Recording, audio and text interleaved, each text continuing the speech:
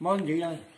Bé, parlarem de literatura, que és d'aquelles coses que se'n parla molt a l'ensenyament, però a la vida, diguem, fora de l'ensenyament estricte, se'n parla molt poc.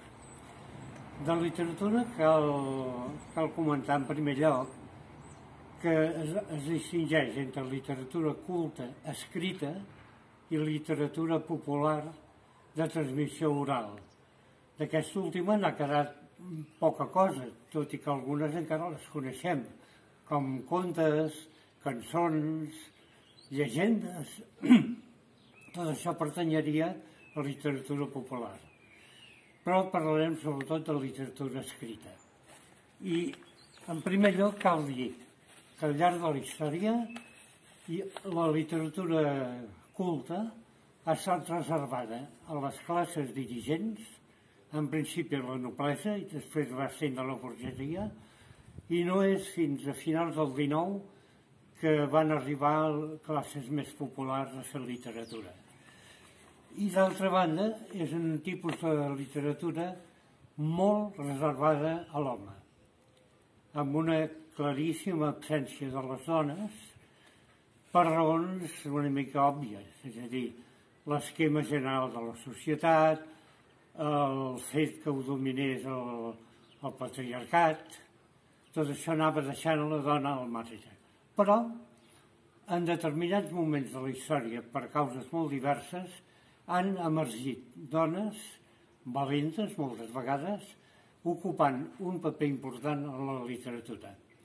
I el primer que parlem avui és dedicat a unes dones del segle XIII, 13 i començaments del 14, que són el que en aquell moment se'n deia les troveirits, o sigui, és a dir, trobadores.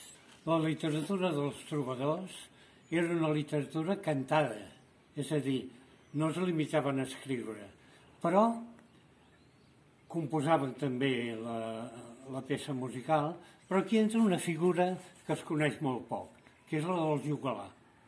Cada trobador tenia al seu servei, com si fos un criat, un juglar, que era l'encarregat de cantar la peça del trobador i possiblement posar-hi la música també. Això és una cosa que no ha estat aclarida encara perquè, clar, no hi ha tant material sobre aquella època. Alguns juglars van arribar a ser considerats trobadors per la seva qualitat personal. Eh, el que reflectia la literatura dels trobadors era un tipus d'amor convencional en el qual un trobador cantava l'amor a una dona que no era la seva i que a més a més aquesta dona era la dona d'un altre trobador o d'un altre noble en general. I això s'acceptava perquè en principi era una convenció i prou. De vegades fins i tot servia algun trobador per fer la pilota a l'altre dient-li que la seva dona era tan maca i tot això. Se sap, però, que hi va haver algun cas que es va dur al terme i va derivar cap a un altre tipus de literatura de la qual en parlarem algun dia. Tenim la mostra d'uns 50 trobadors catalans, tot i que la literatura dels trobadors no era en català, era en occità. El que passa que l'occità en aquella època es diferenciava tan poc del català que segurament no hi havia cap problema lingüístic. A part que es conserva també alguna gramàtica i algun diccionari, fet per algun trobador, catalans, precisament. Eh,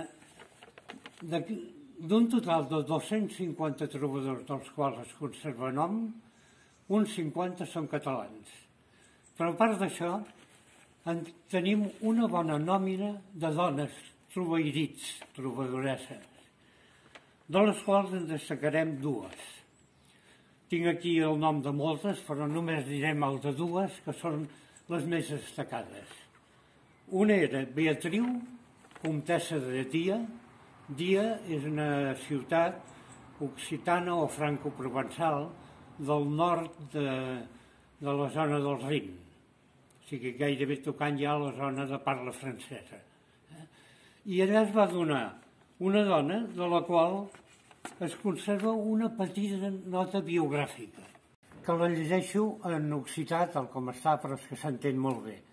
La comtessa de Dia si fou muller d'en Guillem de Paiteu, bella domna e bona, et enamoret-se d'en Rambau d'Orange e fets de lluir mantes bones cançons. Sembla que s'entén pràcticament tot, no?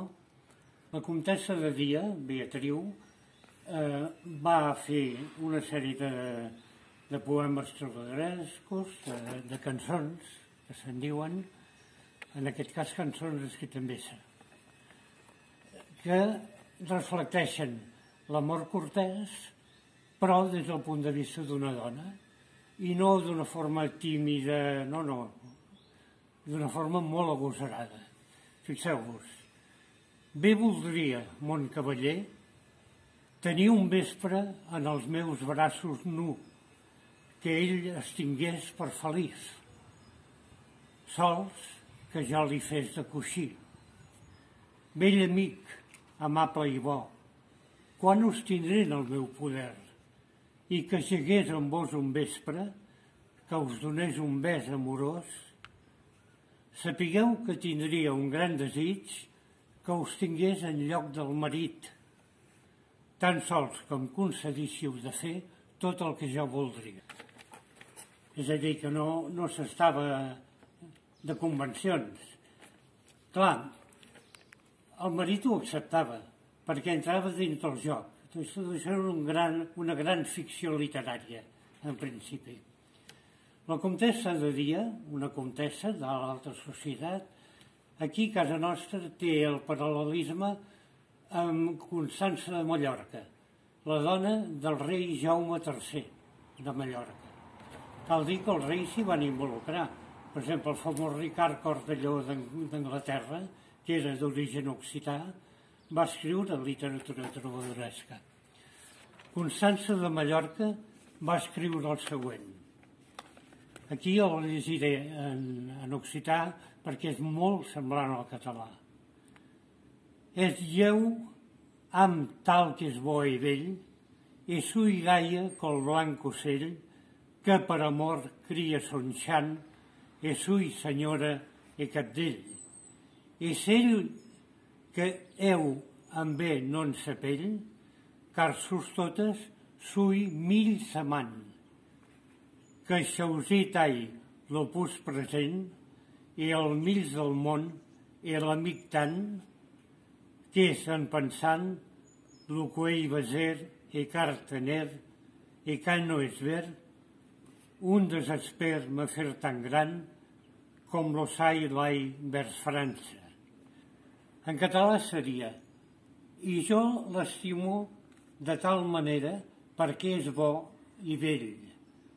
I estic contenta igual que un blanc ocell que per amor cria el seu cant i soc, i soc senyora i, cap, i capdell. En català és igual. I aquell que jo en mi eh, es crida, és a dir, aquell a qui canto, per ell sóc la millor amant que canta en el moment present i ell és el millor del món i l'estimo tant que en pensant-hi el vull veure i el vull tenir i quan no és possible un desesper em ve tan gran que arriba fins a França. Llavors va, va parlant una mica al voltant de tot això i al final diu gràcies, marit, que no sofrint els mals que em deu i tornau que vull aquest tresor que no val un cor que per vos moro amb, peno, amb penós pensament. És a dir, que al final fa un agraïment al marit, dient-li, en certa manera, que, que està contenta que el marit accepti aquest amor que ell sent cap, cap a un altre. Bé, per no allargar-ho, perquè en podríem llegir moltíssims de, de poemes, cal dir que hi va haver trobadoresses, que hi és un fet que la dona aparegui en el segle XIII com a protagonista de la literatura, al mateix nivell que l'home, sense quedar enrere en res, en quantitat. Clar, no n'hi no va haver tantes. Van ser dones agosarades, avançades al seu temps, i han ocupat un paper preeminent a la literatura. Des de les trobadoresses fins al segle XIX, apenes en trobarem d'altres de dones, un parell que ja esmentaré en algun moment. Al, segle XIX comença a aparèixer ja una sèrie de dones amb un paper important a dins de la literatura i arribem al segle XXI i avui dia no, no només han igualat el paper de l'home, sinó que molt sovint en qualitat l'han superat. Bé, fins aquí la primera classe, diguem, de, de literatura.